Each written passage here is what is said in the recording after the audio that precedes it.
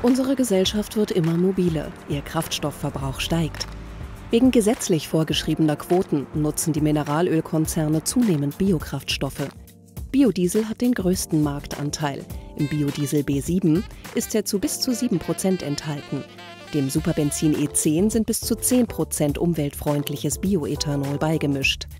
Außerdem werden Reinkraftstoffe Biosuper E85 und Biodiesel B100 angeboten.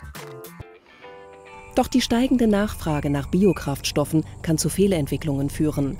Wo etwa für Biokraftstoff, der eigentlich klimaschonend sein soll, Regenwald gerodet wird, müssen neue Regeln her. Eine Nachhaltigkeitsverordnung schafft seit dem 01.01.2011 einheitliche Regeln für alle Biokraftstoffe, die in Deutschland verbraucht werden. Die Verordnung setzt erstmalig entsprechende EU-Vorgaben um und gilt weltweit und auch für andere Industriezweige als Vorbild. Der Nachweis beginnt bereits beim Produzenten der Rohstoffe wie Raps, Soja, Getreide und in äußerst geringem Umfang auch Palmöl. Die Landwirte müssen erklären, dass die angebaute Biomasse den Anforderungen der Nachhaltigkeitsverordnung entspricht. Die Nachweise müssen sie bei Kontrollen den Zertifizierungsstellen vorlegen. Auch beim Transport, der Lagerung und dem Handel muss die Verordnung eingehalten werden.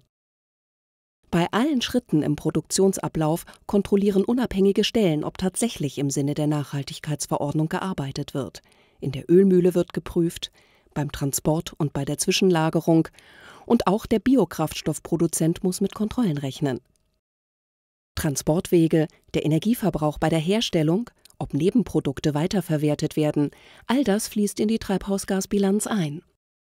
Das letzte Glied, der Biokraftstoffproduzent, sammelt alle Nachhaltigkeitsbelege der vorhergehenden Produktionsschritte. Das gilt auch für ausländische Produzenten von Palm- und Sojaöl. Am Schluss werden alle Emissionen addiert. In der Summe müssen Biokraftstoffe mindestens 35 Prozent weniger Treibhausgase emittieren als fossile Kraftstoffe.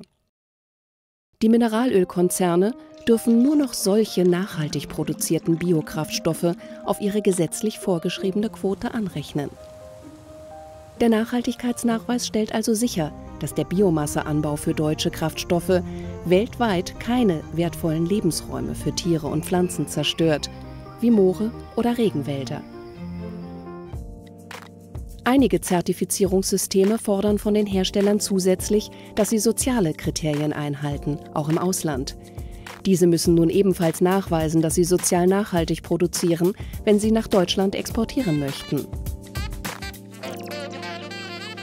Deutschland als größter Biodieselhersteller setzt mit der Nachhaltigkeitsverordnung weltweit Maßstäbe. Erstmals werden in einem Wirtschaftssektor so weitreichende, weltweit geltende Nachhaltigkeitsvorgaben eingeführt zum Wohl unserer Umwelt.